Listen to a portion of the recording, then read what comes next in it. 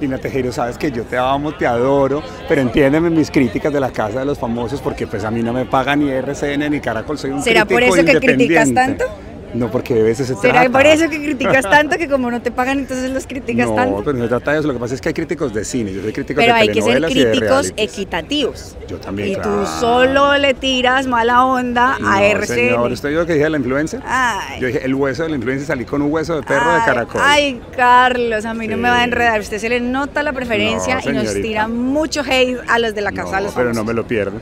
Ah, vea, así es. Porque para poder Y a criticar hay que pesar de que dice que es, que es libreteado y que no sé Yo qué. lo que digo es que el usted show dice de peores Natalie- cosas que las de la negra candela. Yo digo que Ay, las cosas, no, que el no. show de Natalie y de Alejo, eso es puro show.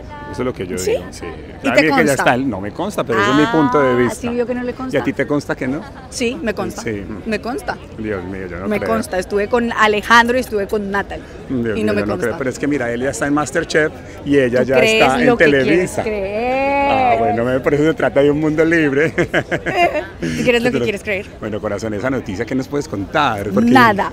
Pero no es embarazo, obviamente. Nada, no, no es embarazo. Pero a mí me gustaría verte en Nuevo Rico, Nuevo Pobre de protagonista. Ay, a mí también. Como me hubiera gustado estar en Rojo Carmesí o como me hubiera gustado estar en las demás, pero todavía no. Pero alguna pista por ahí es un proyecto o algo. No puedo contar. Averigüe, no que todas se las sabe. Claro no que, sí, eso se a averigüe, pues Pero ya cuando entraste en VIX yo lo conté.